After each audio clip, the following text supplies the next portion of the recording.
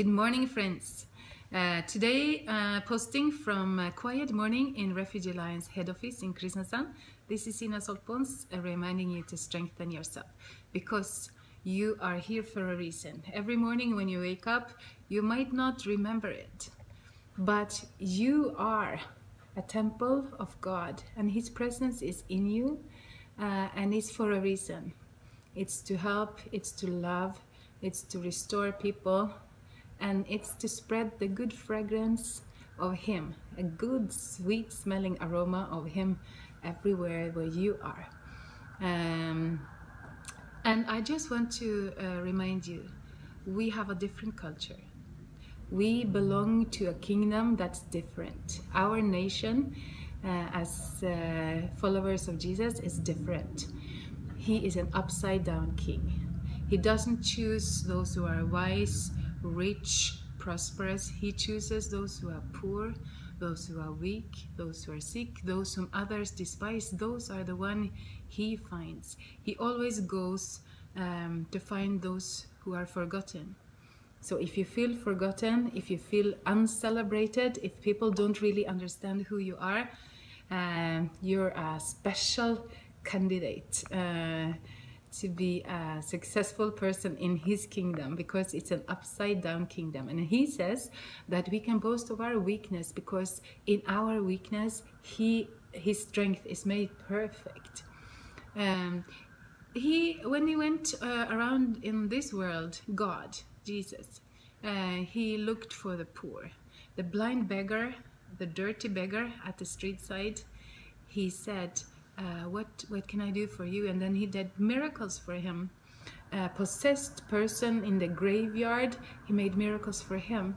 Um, a tired uh, lady who had used all her money for doctors to try to become whole and no one could help her, he did miracles for her.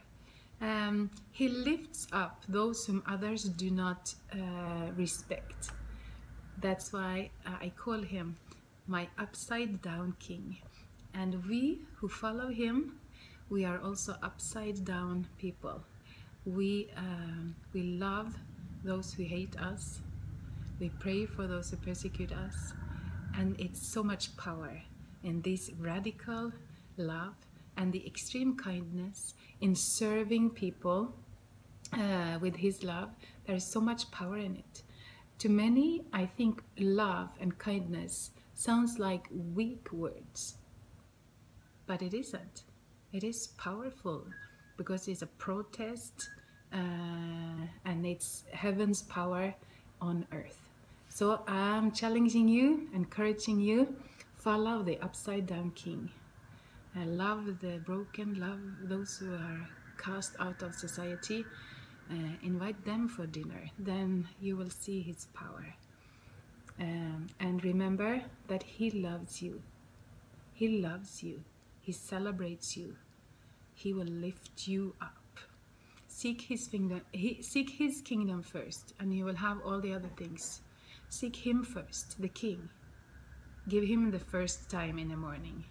Give Him the first love in your heart, the first money, everything first. Give it to Him, and then you will see that He takes you into his kingdom in miracles and you will live an adventurous life with blessing and persecution and hard times but with much of his presence and there is nothing like it.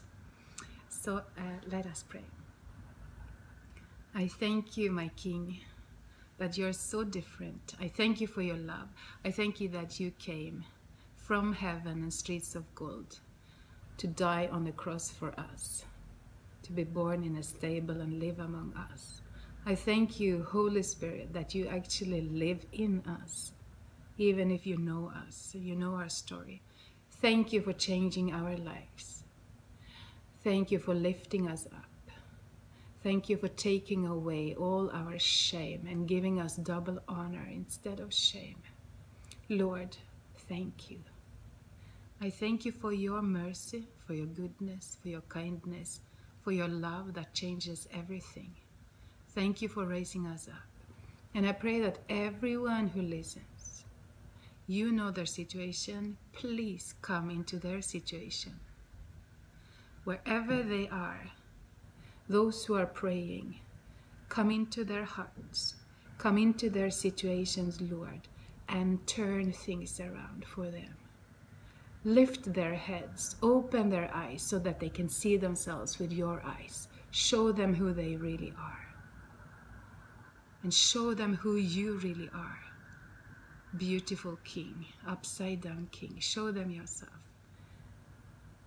I pray this to the glory of your name and to the help of many people. In Jesus' name. Amen. So, dears, uh, this place will be busy tomorrow because we have our service and our joint dinner. At 3 o'clock uh, Sundays, we have dinner together at a long, long table. Asylum seekers, refugees, Norwegians, uh, anyone. If you are in Kristiansand area, please come. And then at 4 o'clock is the international service, English speaking service. Uh, yeah, God can change everything.